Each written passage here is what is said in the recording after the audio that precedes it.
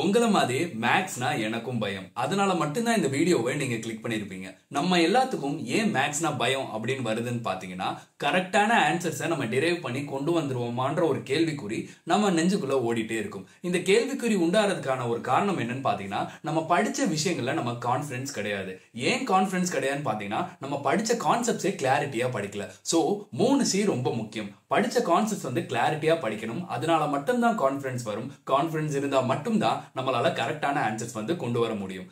இந்த வீடியோவில் நான் எதை பற்றி பேச போகிறேன் அப்படின்னு பார்த்தீங்கன்னா நான் என்ன மாதிரியான சோர்சஸ் யூஸ் பண்ணேன் அதுக்கப்புறம் எப்படி ப்ரிப்பேர் பண்ணேன் எப்படி ப்ராக்டிஸ் பண்ணேன் அப்படின்றத சொல்ல போகிறேன் அதோட சேர்த்து இந்த வீடியோவை நீங்கள் கடைசி வரையும் பார்த்தீங்கன்னா உங்களுக்கு ஒரு போனஸ் டிப்பும் காத்திருக்கு. அதுக்கு முன்னாடி நான் ஒரு விஷயம் சொல்லிடுறேன். இந்த வீடியோவை உங்களை மாதிரி உங்க ஃப்ரெண்ட்ஸ் வந்து நிறைய பேர் படிச்சுட்டு இருப்பாங்க. அவங்களுக்கும் மேக்ஸ்னா பயம் அப்படின்னு இருந்துச்சுன்னா இந்த வீடியோவை கண்டிப்பா ஷேர் பண்ணுங்க. ஏன்னா என்ன பொறுத்தவரையும் humans are not independent humans are interdependent ஒருத்தரை ஒருத்தர் சார்ந்து தான் இருப்பாங்க. நம்ம படிச்சது மட்டும் இல்லாம நம்ம எல்லாருக்கும் சொல்லி கொடுப்போம். சரியா? ஃபர்ஸ்ட் சோர்சஸ்குள்ள போகலாம். சோர்சஸ் பத்தி பாக்குறதுக்கு முன்னாடி நாலு பேசிக்கான விஷயம் சொல்லிடுறேன். ஏன்னா இந்த நாலு பேசிக்கான விஷயத்தை பொறுத்து தான் நம்ம எக்ஸாம் ஹால்ல எவ்வளோ சீக்கிரமா வந்து சம்ஸ் வந்து சால்வ் பண்ண போறோம் அப்படின்றது அமைஞ்சிருக்கு. எக்ஸாம் ஹாலில் நம்மளுக்கு இருக்க போது மூணு மணி நேரம். அதுல மேக்ஸ்க்கு நம்ம எவ்வளோ எடுத்துக்கலாம் பாத்தீங்கன்னா thirty to thirty five minutes எடுத்துக்கலாம். ஏன்னா கரெக்டான ஆன்சரை டெரைவ் பண்ணி கொண்டு வரணும் இல்லையா?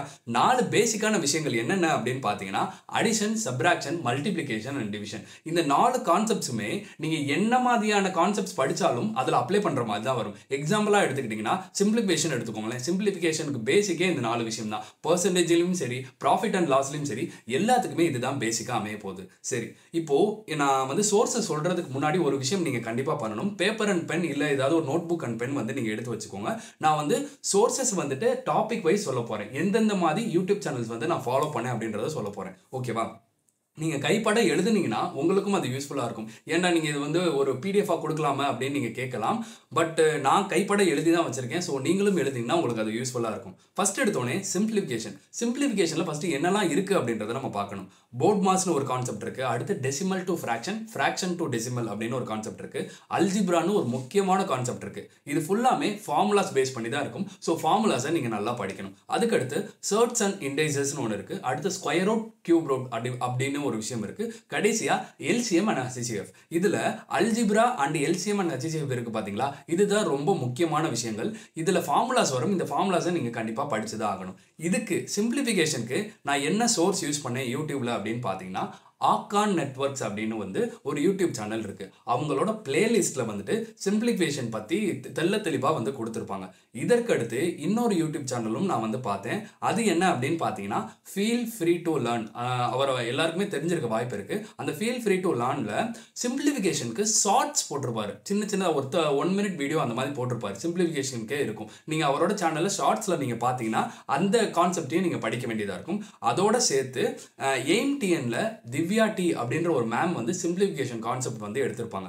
ஏன் அந்த மூணு சேனல் ஃபாலோ பண்ணேன் அப்படின்னு பார்த்தீங்கன்னா ஆக்கான் நெட்ஒர்க்ஸில் ரொம்ப பேசிக்கான விஷயங்களை தெல்ல தெளிவாக சொல்லியிருப்பாங்க. அது போக ஃபீல் ஃப்ரீ டு லேர்னில் என்ன சொல்லியிருப்பாங்க அப்படின்னு பார்த்தீங்கன்னா புதுசான சில கான்செப்ட்ஸ் வந்து அவர் ஈஸியாக எப்படி சால்வ் பண்ணுறதுன்னு அந்த ஷார்ட்ஸில் வந்து சொல்லியிருப்பாரு.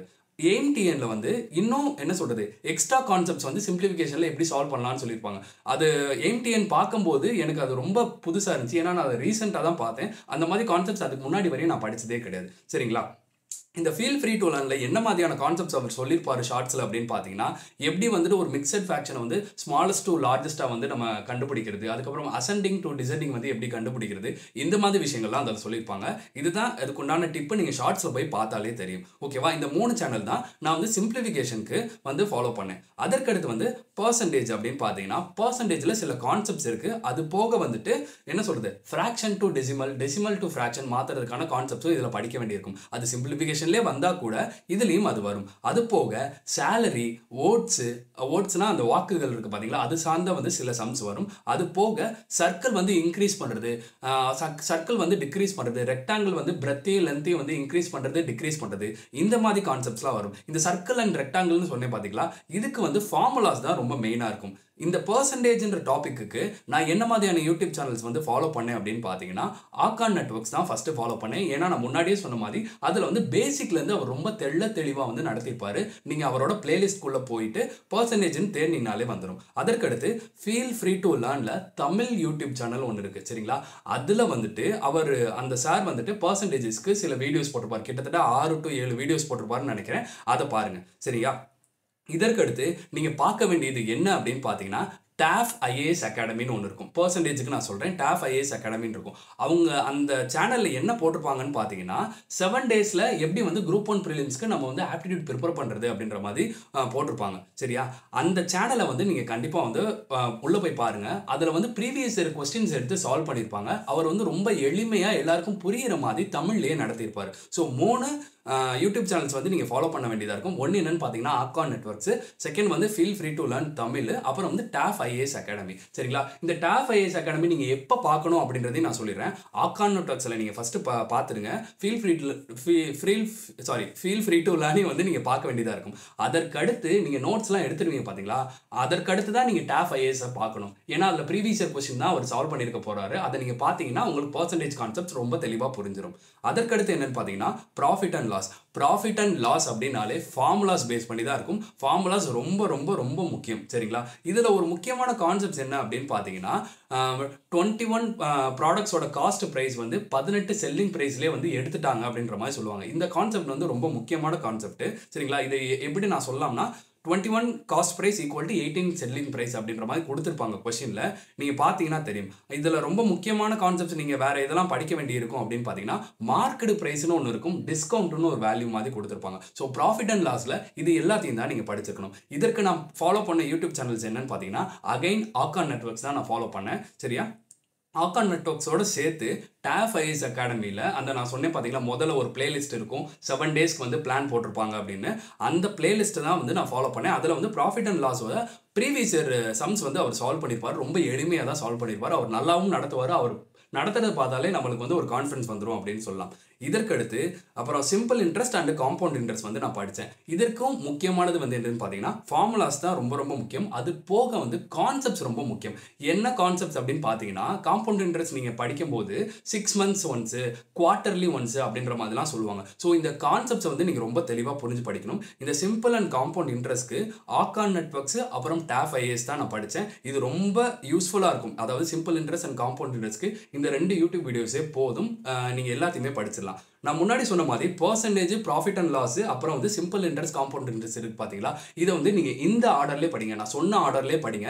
ஏன்னா இது ஒன்றுக்கு ஒன்று வந்து இன்டர்லிங்க்டாக இருக்கும். சரிங்களா? நீங்கள் பர்சன்டேஜ் படித்தா சிம்பிள் இன்ட்ரெஸ்ட் வந்து ஈஸியாக பண்ண முடியும். ப்ராஃபிட் அண்ட் லாஸும் ஈஸியாக பண்ண முடியும். ஓகேவா இதற்கடுத்து என்ன டாபிக் அப்படின்னு பார்த்தீங்கன்னா ரேஷியோ அண்ட் ப்ரொபோஷன்ஸ்னு ஒரு டாபிக் இருக்குது இதுக்கு சாரி இந்த டாபிக் வந்துட்டு ஒரு ஸ்ட்ராங் ஃபவுண்டேஷன் எதுக்குன்னு பார்த்தீங்கன்னா டைம் அண்ட் ஒர்க்குக்காக இருக்கட்டும் ஏஜஸ்னு இன்னொரு டாபிக் இருக்கும். இந்த ரேஷியோ அண்ட் ப்ரொபோஷன்ஸ் தான் ரொம்ப ரொம்ப முக்கியமான டாபிக் அப்படின்றத நீங்கள் தெரிஞ்சுக்கணும். இந்த ரேஷியோ அண்ட் ப்ரொபோஷன்ஸ்க்கு நான் ஃபாலோ பண்ண யூடியூப் சேனல் என்னன்னு பார்த்தீங்கன்னா அகைன் ஆக்கான் நெட்ஒர்க்ஸ் தான். அவர் வந்து பேசிக்லேருந்து ரொம்ப நல்லாவே கொடுத்துருப்பாரு. அது போக வந்து டாஃப் ஐஎஸ் அகாடமியில் நான் முன்னாடியே சொன்ன மாதிரி செவன் டேஸ் பிளான் ஒன்று கொடுத்துருப்பாங்க. பிளான்னு சொல்ல முடியாது. அது குரூப் ஒன் ப்ரிலிம்ஸ்க்காக போட்டிருப்பாங்க. சரிங்களா? அந்த வீடியோஸ் வந்து நான் பார்த்தேன். அதில் வந்து ரேஷியோ அண்ட் ப்ரொபோசன்ஸ் பார்த்தேனே அது கிட்டத்தட்ட ஒரு ஒன்றரை மணி நேரம் கிட்ட வரும். அந்த ஒரு வீடியோலேயே அந்த சார் வந்து ரேஷியோ அண்ட் ப்ரொபோசன்ஸ் ஏஜஸ் அப்புறம் ஆவரேஜ் இது மூணுத்தையுமே ப்ரீவியஸ் இயர் கொஸ்டின் எடுத்து அனலைஸ் பண்ணி ஈஸியாக சொல்லி கொடுத்துருப்பாரு. சரிங்களா? இதற்கடுத்து இந்த ரேஷியோ அண்ட் ப்ரொபோஷன்ஸ் சார்ந்த வேற ஒரு டாபிக் என்னடா அப்படின்னு கேட்டிங்கன்னா ஏஜஸ்னு ஒரு டாபிக் இருக்குது அந்த ஏஜஸ் டாபிக் வந்து உங்களுக்கு கான்செப்டுவல் கிளாரிட்டி வேணும் அப்படின்னு நீங்கள் நினச்சிங்கன்னா ஃபீல் ஃப்ரீ டூலான வந்து நீங்கள் பார்க்கலாம். சரியா? இதற்கடுத்து ஆவரேஜ்னு ஒரு டாபிக் இருக்குது அது வந்து நான் ஸ்டாண்டர்ட் டிவிஷன் பார்க்கும்போது சொல்கிறேன் பட் இருந்தாலும் நீங்கள் ஆவரேஜ்னா என்னென்ன ஒரு பேசிக் தெரிஞ்சுக்கணும் அப்படின்னு பார்த்தீங்கன்னா ரதினா குவான்ஸ் அப்படின்னு ஒரு மேம் வந்து ஒரு யூடியூப் சேனல் வச்சுருக்காங்க. அதில் போய் நீங்கள் ஆவரேஜோட பேசிக்ஸ் வந்து பார்த்துக்கலாம். ஓகேவா இதற்கடுத்த டாபிக் என்ன அப்படின்னு பார்த்தீங்கன்னா ரொம்ப முக்கியமான டாபிக் டைம் அண்ட் ஒர்க்கு இதில் வந்துட்டு ஃபார்முலா ரொம்ப முக்கியம். Capacity equal to work by time அப்படின்ற ஒரு ஃபார்முலா இருக்கும். இந்த ஒரு ஃபார்முலா வந்து நீங்கள் புரிஞ்சுக்கிட்டீங்கனாலே இதில் இருக்க சம்ஸ் எல்லாம் நம்ம ஈஸியாக சால்வ் பண்ணிட்டு போயிடலாம். இதற்கடுத்து இதில் இன்னொரு கான்செப்ட் இருக்குது இந்த டைம் ஒன் ஒர்க்குக்கு கீழே. செயின் ரூல் அப்படின்னு ஒரு கான்செப்ட் இருக்குது அதுக்கடுத்து பைப்ஸ் அண்ட் சிஸ்டன்ஸ்னு இன்னொரு கான்செப்ட் இருக்குது சரிங்களா? இந்த மூணு கான்செப்டையும் நான் டைம் ஒன் ஒர்க்கில் எதில் பார்த்தேன் அப்படின்னு பார்த்தீங்கன்னா ஆக்கான் நெட்ஒர்க்ஸில் தான் பார்த்தேன். அது போக நான் யூஸ் பண்ணது டாஃப் ஐஏஎஸ் அகாடமி சரிங்களா? ஓகே இதற்கு அடுத்து வந்து என்னன்னு பார்த்தீங்கன்னா அர்த்தமெட்டிக் ப்ராக்ரஷன் அப்புறம் ஜாமெட்ரிக் ப்ராக்ரஷன் இருக்கும். அதுக்கடுத்து மென்ஸ்ட்ரேஷன் இருக்கும். இது எல்லாமே வேற வேற டாபிக் ஆனால் இது எல்லா டாப்பிக்குமே நான் பார்த்த ஒரே ஒரு யூடியூப் சேனல் எதுன்னு பார்த்தீங்கன்னா ஆகான் டோக்ஸ் தான் பார்த்தேன். ஆகான் டோக்ஸ் பார்த்துட்டு நான் அந்த ப்ரீவியஸ் இயர் கொஸ்டினை ரிவைஸ் பண்ணுறதுக்காக டேஃப் ஐஏஎஸ் அகாடமி வந்து பார்த்தேன். சரிங்களா? இதற்கடுத்து ஸ்டாட்டிஸ்டிக்ஸ்னு ஒரு டாபிக் இருக்கு. அதில் வந்து arithmetic mean median mode range coefficient of range variance standard deviation இந்த மாதிரி சப் டாபிக்ஸ் வந்து நிறையா இருக்குது இது எல்லாத்துக்கும் நான் ஃபாலோ பண்ண ஒரே ஒரு சேனல் வந்து ஆக்கான் நெட்ஒர்க்ஸ் தான். ஓகேவா அதுக்கடுத்து ப்ராபபிலிட்டின்னு இன்னொரு டாபிக் இருக்குது இதுக்கும் வந்து நான் ஆக்கான் நெட்ஒர்க்ஸ் தான் ஃபாலோ பண்ணேன். இதோட வந்துட்டு நம்ம மேக்ஸ் பார்ட் வந்து முடியுது ஆப்டிடியூடில் இதற்கடுத்து என்ன இருக்கும் அப்படின்னு பார்த்தீங்கன்னா ரீசனிங் பார்ட்டு தான் இருக்கும். இந்த ரீசனிங் பார்ட் வந்து உங்களுக்கு கரெக்டாக ஒரு பேராகிராஃப் கொடுத்தா வாசிக்க தெரிஞ்சால் ரொம்ப ரொம்ப யூஸ்ஃபுல்லாக இருக்கும். ஏன்னா வாசிக்க தெரிஞ்சால் மட்டும் இந்த ரீசனிங் பார்ட்டை வந்து நீங்கள் ஈஸியாக கிளியர் பண்ணிட்டு வந்துடலாம். அதில் என்ன கொஸ்டின் கேட்டாலும் உங்களால் சொல்ல முடியும். ரீசனிங்கில் என்னெல்லாம் இருக்கும் அப்படின்னு பார்த்தீங்கன்னா லாஜிக்கல் ரீசனிங் இருக்கும் பசில்ஸ் இருக்கும் விஷுவல் ரீசனிங் இருக்கும் அப்புறம் alpha numeric series number series இதில் இந்த ஆல்ஃபா நியூமரிக் சீரிஸ் நம்பர் சீரிஸ்னு சொன்னேன் பார்த்தீங்களா இது வந்து ரொம்ப முக்கியமான ஒரு கான்செப்ட் சொல்லலாம். ஏன்னா இது வேரியஸ் எக்ஸாம்ஸில் வந்து கேட்டிருக்காங்க.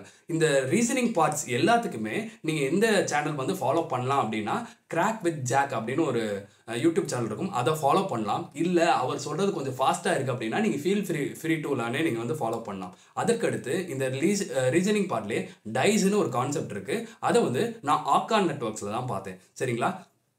இப்போ நான் சொன்ன எல்லாத்தையுமே நீங்கள் நோட் பண்ணியிருப்பீங்க அப்படின்னு நான் நம்புகிறேன் இதோட இமேஜ் வந்து நான் வந்து டிஸ்கிரிப்ஷனில் கொடுத்துருப்பேன் கண்டிப்பாக அப்படி அந்த டிஸ்கிரிப்ஷனில் இல்லைன்னா நீங்கள் கமெண்ட் பண்ணுங்கள் நான் உங்களுக்கு எப்படியாவது சென்ட் பண்ணுறதுக்கு ட்ரை பண்ணுறேன் வேறு ஏதாவது லிங்க் மாதிரி கூட கொடுக்குறேன். சரியா? இது இந்த மாதிரி என்ன சொல்கிறது ஃபுல் அண்ட் ஃபுல் யூடியூப் சேனல்ஸை வந்து நான் ஃபாலோ பண்ணி தான் twenty four out of twenty five எடுத்தேன். இதை நான் எப்படி வந்து ப்ரிப்பேர் பண்ணேன் அப்படின்றத வந்து இப்போ நம்ம பார்க்கலாம்.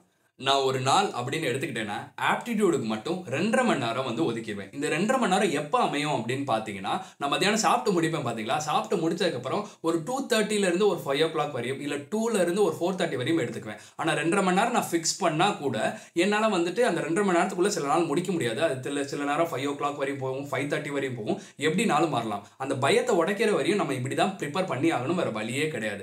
எப்படி என்னோட ப்ரிப்பரேஷன் ஸ்ட்ராட்டஜி இருந்துச்சுன்னு பார்த்தீங்கன்னா ஒரு ரெண்டு நோட்டு போட்டுக்கிட்டேன். ஃபர்ஸ்ட் உடனே நான் யூடியூப்ல அந்த கான்செப்டோட வீடியோவை பார்த்துருவேன். நான் அப்போ எந்த நோட்ஸ் எடுக்க மாட்டேன். ஃபர்ஸ்ட் டைம் பார்க்கும்போது நான் எந்த நோட்ஸுமே எடுக்க மாட்டேன். செகண்ட் டைம் நான் பார்ப்பேன் அந்த வீடியோவை. அந்த வீடியோவை பார்க்கும்போது யூடியூப்ல வந்து ஒரு ஆப்ஷன் இருக்கும். ஸ்பீடை வந்து நம்ம ஒன் பாயிண்ட் டூ ஃபைவ் இல்லை ஒன் பாயிண்ட் ஃபைவ் எக்ஸில் வந்து பா வச்சு பார்த்துக்கலாம் அப்படின்ற மாதிரி. ஸோ செகண்ட் டைம் பார்க்கும்போது ஸ்பீடை இன்க்ரீஸ் பண்ணி வச்சுட்டு அந்த வீடியோவும் பார்த்துட்டு நான் அப்படியே நோட்ஸும் எடுக்க ஆரம்பிச்சிருவேன். ஆனால் சில பேரால அந்த ஸ்பீடை இன்க்ரீஸ் பண்ணால் அவங்களால கிராஸ் பண்ணிக்க முடியாது. என்னால் முடிஞ்சது அதனால பண்ணேன். உங்களால் முடியலன்னா நீங்கள் நார்மலான ஒரு மோடில் வச்சே உங்களால் பண்ண முடியும். சரிங்களா? அப்போ நீங்கள் வந்து நோட்ஸ் எடுத்துப்பீங்க. ஸோ லேர்னிங்லேருந்து லேர்னிங்ன்றது இப்படி தான் அமையணும். ஃபஸ்ட்டு நீங்கள் பார்க்கணும் அதுக்கப்புறம் அந்த பார்க்குறப்பே நீங்கள் கேட்கணும் அதுக்கப்புறம் எழுதணும். இப்படி நீங்கள் பண்ணிங்கனாலே ஒரு ஐம்பது பர்சன்டேஜ் ஆஃப் த சிலபஸ் வந்துட்டு நீங்கள் படிச்சிருவீங்க. அதற்கப்புறம் நீங்கள் வந்து ப்ராக்டிஸ் பண்ணி பார்ப்பீங்க இல்லையா? அப்போ நீங்கள் வந்து முழுமையாக படிச்சிடலாம். இப்படி தான் என்னோட டேல வந்து நான் ப்ரிப்பேர் பண்ணவே ஸ்டார்ட் பண்ணேன். ஒரு ஒரு டாப்பிக்கும் ஃபஸ்ட் எடுத்தோன்னே வீடியோ பார்ப்பேன் அதுக்கடுத்து நோட்ஸ் எடுப்பேன். அடுத்து வந்துட்டு என்ன சொல்கிறது திரும்பி வந்து அந்த நைட்டு தூங்கும்போது சில நாள் ரிவைஸ் பண்ணுவேன் சில நாள் ரிவைஸ் பண்ணாமல் இருப்பேன். இப்போ ஒரு டாபிக் அப்படின்னு எடுத்துக்கிட்டேன்னா பார்த்தீங்கன்னா நான் ஒரு த்ரீ டு ஃபோர் டேஸ்க்குள்ளே ஒரு டாபிக் முடிக்கிற மாதிரி வந்துடும். ஆனால் சில டாபிக் வந்து ஒரு வாரத்துக்கு மேலே கூட போகும். சரிங்களா? எக்ஸாம்பிள் பார்த்தீங்கன்னா மென்சுரேஷன் ஒரு டாபிக் பெரிய டாபிக் ஏன்னா அதில் வந்துட்டு நிறைய ஃபார்முலாஸ் இருக்கும். நிறைய நம்ம வந்து புரிஞ்சு படிக்கிற மாதிரி இருக்கும். அது வந்து டெய்லி லைஃப்பில் கூட நம்ம யூஸ் பண்ணுற மாதிரி தான் இருக்கும். அந்த மென்சுரேஷன் அப்படின்ற ஒரு டாபிக் ஸோ என்னோட ப்ரிப்பரேஷன்றது இப்படி தான் அமைஞ்சிச்சு. நான் ப்ராக்டிஸ் பண்ணது எப்படி பண்ணேன் அப்படின்னு பார்த்தீங்கன்னா டெலிகிராமில் நான் படிக்கும்போது அதாவது டூ தௌசண்ட் டுவெண்ட்டி டூ அந்த காலகட்டத்தில் படிக்கும்போது சில இன்ஸ்டியூட்ஸ் வந்து அவங்களோட கொஸ்டின் பேப்பர் வந்து அப்லோட் பண்ணியிருப்பாங்க அதுலேருந்து டுவெண்ட்டி ஃபைவ் கொஸ்டின்ஸ் எடுத்து ப்ராக்டிஸ் பண்ணேன். அது போக சேர்த்து ப்ரீவியஸ் இயர் கொஸ்டின்ஸ் வந்துட்டு நம்ம க்ரோமில் தேடினாலே கிடைக்கும். அதை எடுத்தும் நான் சால்வ் பண்ணேன். ஃபர்ஸ்ட் எடுத்தோன்னா நான் என்ன பண்ணுவேன் அப்படின்னு பார்த்தீங்கன்னா ஒரு தேர்ட்டி மினிட்ஸ் வந்து இதுக்குன்னு ஒதுக்கிடுவேன் நான் போட்டு பார்க்கறதுக்குன்னு. டுவெண்ட்டி ஃபைவ் சம்ஸை நான் தேர்ட்டி மினிட்ஸில் பண்ண முடிஞ்சாதான் எக்ஸாம் ஹாலில் என்னால் ஒரு தேர்ட்டி ஃபைவ் மினிட்ஸ் இல்லை ஃபார்ட்டி மினிட்ஸ் நான் அது மேக்ஸை வந்து முடிக்க முடியும். அப்படி இருந்தால் மட்டும்தான் உங்களால் வந்து மித்த கொஸ்டின்ஸை வந்து அட்டன் பண்ண முடியும். உங்களுக்கு வந்து ரொம்ப என்ன ஸ்ட்ரெஸ் ஆகாது எக்ஸாம் ஹாலில் ஸோ இதை நான் வந்து டெய்லி ப்ராக்டிஸ் பண்ணேன். டெய்லி போட்டு பார்த்தேனா அப்படின்னு கேட்டால் கிடையாது. ஃபஸ்ட்டு எனக்கு படிக்கிறதுக்கே சில நாட்கள் ஆகும் பார்த்தீங்களா கான்செப்ட்ஸ் படிக்கிறதுக்கும் சரி இல்லை அதில் இருக்க டாபிக்ஸை வந்து ஃபுல்லாக படி முடிக்கிறதுக்கும் சரி எனக்கு வந்து கொஞ்சம் நாள் ஆகும். அது பண்ணதுக்கு அப்புறம் தான் நான் இந்த மாதிரி விஷயங்கள்லாம் பண்ண ஆரம்பித்தேன் இந்த டுவெண்ட்டி ஃபைவ் கொஸ்டின்ஸ் நான் பார்க்க போட்டு பார்க்கறதுக்கு முன்னாடி இப்போ சிம்பிளிஃபிகேஷன் எடுத்துக்கோங்களேன். அந்த டாபிக் தான் நான் போட்டு பார்க்க போகிறேன் அப்படின்னா நான் வந்து திரும்பி என் நோட்ஸ் எல்லாம் எடுத்து ரிவைஸ் பண்ணுவேன். ஒரு தேர்ட்டி மினிட்ஸ் இல்லை டுவெண்ட்டி மினிட்ஸ் வந்து ரிவைஸ் பண்ணிட்டு திருப்பி உட்காந்து போட்டு பார்ப்பேன். ரிவைஸ் பண்ணாமல் யாராலையும் போட்டுலாம் பார்க்க முடியாது. என்னால் போட்டு பார்க்க முடியாது. உங்களுக்கு எப்படின்னு தெரியல. உங்களுக்கு அது வந்து வந்துச்சு அப்படின்னா ரிவைஸ் பண்ணாமல் தயவு செய்து நீங்கள் அதையே கண்டினியூ பண்ணிருங்க. ஏன்னா எக்ஸாம் ஹால்லையும் சரி இப்போ நீங்கள் ப்ரிப்பேர் பண்ணிகிட்டு இருக்க காலத்துலையும் உங்களுக்கு வந்து டைம்ன்றது ரொம்ப ரொம்ப முக்கியம். ஏன்னா டைம் வந்து ரொம்ப இழுத்துட்டே போச்சுன்னா மித்த சப்ஜெக்ட்ஸ் படிக்க முடியாமல் போகிறது கூட வாய்ப்பு இருக்குது எக்ஸாம் ஹாலில் நான் என்ன பண்ணேன்னா ஒரு சரியான கூத்து பண்ணேன்.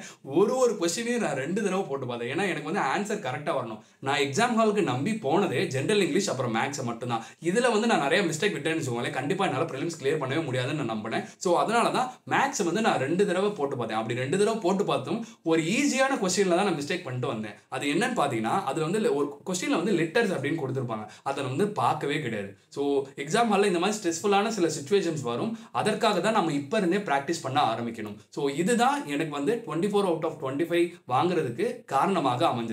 நான் வாங்கினேன்னா கண்டிப்பாக உங்களாலையும் வாங்க முடியும். ஏன்னா உங்களை மாதிரி நானும் மேக்ஸுக்கு ரொம்ப ரொம்ப பயந்த ஆள் தான். இந்த மாதிரி நம்ம ப்ராக்டிஸ் பண்ணி ப்ரிப்பேர் பண்ணோம் அப்படின்னா நம்மளால் கண்டிப்பாக வந்து இந்த எக்ஸாமை ஈஸியாக கிராக் பண்ண முடியும். கடைசியாக ஒரு போனஸ் டிப் சொல்லுறேன் அப்படின்னு சொல்லியிருந்தேன் பார்த்தீங்களா அது என்னன்னா நான் வந்துட்டு சோர்ஸஸ் சொல்லியிருந்தேன் பார்த்தீங்களா அந்த சோர்ஸஸோட இமேஜ் நான் எழுதி வச்சிருந்தேன். அந்த இமேஜ் வந்து நான் கீழே டிஸ்கிரிப்ஷனில் கொடுக்குறேன். அது போக நான் ஃபார்முலாஸ் தான் ரொம்ப முக்கியம் அப்படின்னு சொல்லியிருந்தேன் பார்த்தீங்களா ஒரு ஒரு டாப்பிக்குக்கும் ஃபார்முலாஸ் இருக்குது கியூப் ரூட் ஸ்கொயர் ரூட் இந்த மாதிரி விஷயங்கள்லாம் இருக்குது இது எல்லாத்தையும் சேர்த்து நான் கீழே டிஸ்கிரிப்ஷனில் ஒரு பிடிஎஃபாக கொடுக்குறேன். கண்டிப்பாக டவுன்லோட் பண்ணிக்கோங்க. ஏன்னா அது ரொம்ப யூஸ்ஃபுல்லாக இருக்கும். ஃபார்முலாஸ் எல்லாம் ஒரே பிடிஎஃப்ல வந்துச்சுன்னா உங்களுக்கு ரிவைஸ் பண்ணுறதுக்கும் ஈஸியாக இருக்கும். நீங்கள் எங்கேனாலும் அதை கையில் எடுத்துகிட்டு போய்க்கலாம். ஏன்னா அது பிடிஎஃபாக தான் இருக்க போகுது. நான் முன்னாடியே சொன்ன மாதிரி இந்த வீடியோவை உங்களை மாதிரியே என்ன மாதிரியே நிறைய பேர் மேக்ஸ்க்கு பயப்படுவாங்க.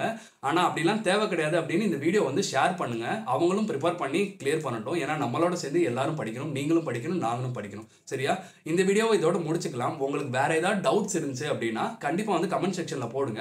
அப்புறம் இன்னொரு முக்கியமான விஷயம். அந்த பிடிஎஃப் நான் கொடுக்குறேன்னு சொன்னேன் பார்த்தீங்களா லிங்க் அது வந்து ஒர்க் ஆகலை அப்படின்னா அதையும் கமெண்ட் பண்ணுங்க. நம்ம வேற ஏதாவது ஒரு வேலை வந்து அதை உங்களுக்கு சென்ட் பண்ணுறதுக்கான வழியை பார்ப்போம். சரியா? So thank you